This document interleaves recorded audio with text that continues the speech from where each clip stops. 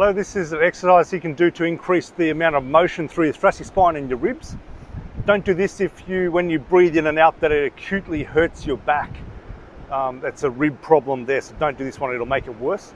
But if you just generally feel stiff through your back, or you have a sore lower back, this is a really good one to do. So you're sitting on a chair, your knees about 90 degrees in your knees. You're sitting up straight, so you have that central axis through your body, sitting up nice and tall.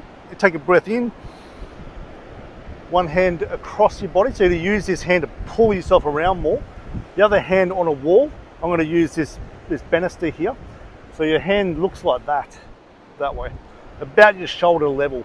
So with this hand, I push to push myself more around, and I use this arm to pull myself around. So we're going to try that now. So take a deep breath in, a sense of lift through your body.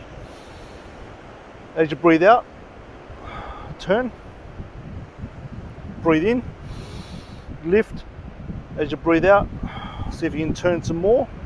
Look around as well. Breath in again. Lift. As you breathe out.